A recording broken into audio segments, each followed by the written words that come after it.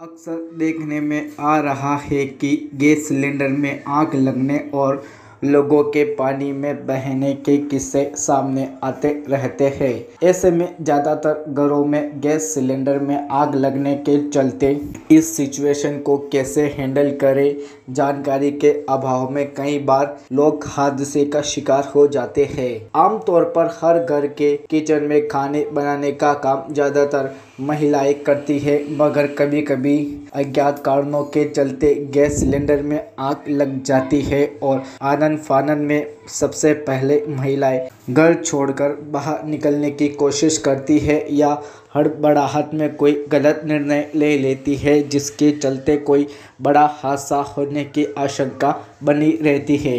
ऐसे हादसों को देखते हुए एसडीआरएफ ने एक अभियान चलाया है, जिसके तहत घर घर गाँव गाँव जाकर एसडीआरएफ द्वारा जानकारी दी जा रही है कि यदि आपके घर के किचन में गैस सिलेंडर में अचानक आग लग जाती है तो ऐसी आपदा में महिलाओं को किस तरह निपटना चाहिए, इसको लेकर एसडीआरएफ ने एक डेमो भी बताया, जिसमें गैस सिलेंडर में आग लगाकर और उस सिचुएशन को कैसे हैंडल करें आग को कैसे बुझाई जाए, इसका तरीका बताया गया।